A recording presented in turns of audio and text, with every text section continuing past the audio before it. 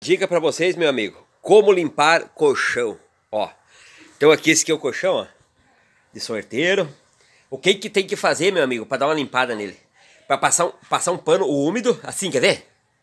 Ó, amigo, vamos botar uma bacia aqui com água e uns produtos. Ó, meus amigos, então aqui está a água, ó. O que que eu vou, vou botar? Detergente, detergente aqui dentro. E também esse outro produto aqui, ó. Ó, vou botar um pouco isso aqui. Não é que bom isso aqui, é um outro produto. Ó, botar esse outro produto aqui, um pouco de cada um aqui nessa, nesse vídeo, ó. E meu amigo, não pode passar tanto, uh, vamos dizer assim, muita umidade para que não venha passar para baixo, né? Tipo, muito, muito, uh, muita água para que não venha sopar o colchão. É tipo, vamos amigo, então eu botei um pouco de detergente e um pouco de veja, certo? Não pode ser muito molhado o pano, né? Para não encharcar o colchão, senão não dá, né? Que bem torcido assim, ó. Aí, ó, bem torcido. E aí vamos passar assim, ó. Entendeu? Passar todo ele. Bem passadinho.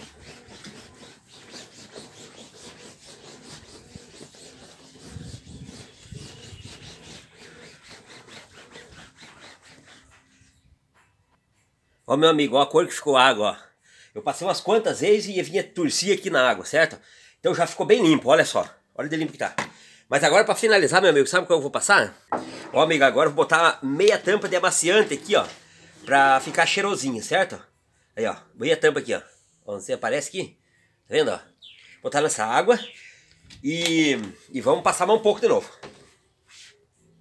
Essa segunda água, amigo, é só amaciante, certo? E é pra ficar o cheirinho bem bom no colchão. Aí torce o pano e o mesmo sistema, certo? Então muitas vezes a pessoa não sabe o que fazer, às vezes suja um pouquinho com alguma coisa e, e acaba não sabendo o que fazer com o colchão. Então essa dica, meu amigo, é hoje que você vai ver aí, ó, como limpar o colchão, né, usando produtos de limpeza e para ficar cheirosinho no final da história, você vai usar o amaciante, certo? Pronto, meu amigo, ó. Agora passei o amaciante para ele ficar cheirosinho, certo? Ó, pode ver que ele tá úmido, não tá encharcado, ó, tá úmido, quer ver? Ó, olha aí de, de úmido que tá. Agora vamos botar no sol. E aí, meu amigo, agora vamos botar ele no sol para ele secar.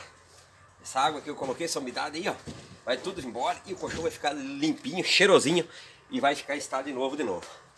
Aí, ó, tá vendo? Aí vai ficar, ó, tá umas duas, três vezes no sol, dois, três dias, fica novo o colchão de novo. E bem limpinho e cheirosinho. Aí, meu amigo, lá tá ele, ó, lá no sol. Se você quiser fazer assim, meu amigo, também pode fazer. Só não pode encharcar o colchão. Só umidade, entendeu? Pano meio sequinho, meio torcido, bem torcido, para não passar muita umidade, senão ele demora muito para secar.